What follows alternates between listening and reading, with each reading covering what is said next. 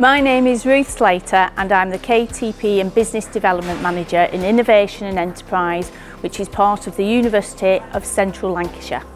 A KTP is a knowledge transfer partnership developed by government to help businesses to interact with the university.